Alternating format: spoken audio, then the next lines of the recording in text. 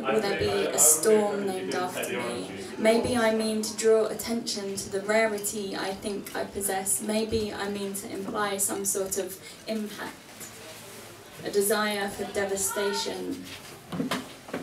Just as long as I can make my mark on another human, leave a trail of tears, trail of bodies. Sorry, I don't mean it really, I just want you to feel something.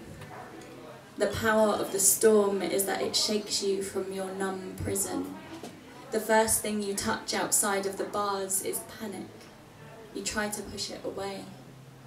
Maybe just one day you will get swept up. Um, so